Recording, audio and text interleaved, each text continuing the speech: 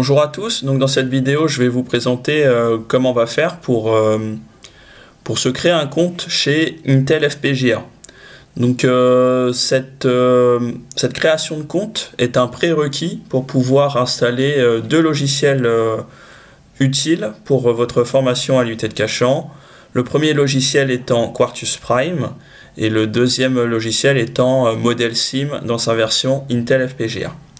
Donc pour commencer, vous allez euh, ouvrir le navigateur et puis vous tapez sur votre barre de recherche les mots-clés suivants. Intel, FPGA, espace, registration.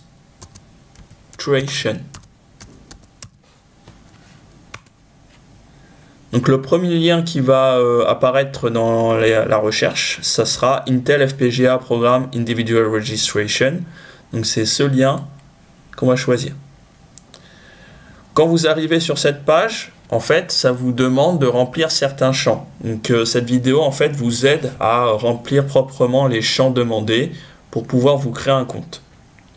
Donc dans le champ First Name, ça veut dire prénom, on met son prénom. Dans le champ Last Name, ça veut dire nom, on met son nom, si possible en majuscule. Pour le business email address, on va mettre euh, son adresse universitaire. Donc pour moi, ça sera par exemple antoine.trantan université sans accent paris saclay.fr. Pour le username, donc c'est le login, ce que vous allez faire, c'est juste cliquer une fois euh, pourquoi? Parce que en fait, nous, on veut pas de mettre de login euh, un peu au hasard. Le mieux, c'est de, faire en sorte que ça soit votre adresse email. Donc, ça sera plus sécurisant pour, par exemple, quand vous allez vous reconnecter sur Intel. Donc, je coche Use my email as username. Ensuite, dans le champ password, on va mettre un mot de passe, un mot de passe euh, que vous allez retenir donc euh, vous mettez un mot de passe et puis après vous allez confirmer. Dans le champ country, pays, vous allez mettre France. Donc vous cliquez sur country et puis vous cherchez France. Voilà. Et pour job function, donc c'est en fait votre métier, bah, vous déroulez et vous choisissez, euh, vous choisissez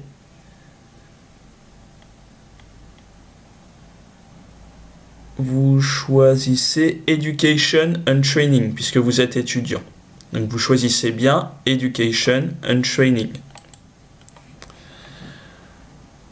Pour euh, euh, le pays, donc ça c'est pour le numéro de téléphone, il va falloir mettre euh, France, bien sûr, puisque vous vivez actuellement en France, donc ça sera plus 33. Et puis là, il va falloir taper son numéro de téléphone. Voilà, et puis je vais faire Next Step. Donc une fois que vous avez édité ce champ, donc bien sûr, j'ai mis euh, un, numéro au hasard, j'ai mis un mot de passe complètement au hasard. Ce que vous allez faire, c'est remplir les questions, je vais répondre aux questions suivantes. Donc pour Project Time Frame, donc il sera nécessaire de dire que vous allez utiliser pour plus de 24 mois. Concernant l'industrie, bah en fait vous ne travaillez pas pour une industrie, vous travaillez pour l'éducation, donc on va chercher, on va chercher quelque chose qui ressemble, bah voilà, éducation. Préfère distributeur, vous allez choisir euh, un distributeur qui est en Europe.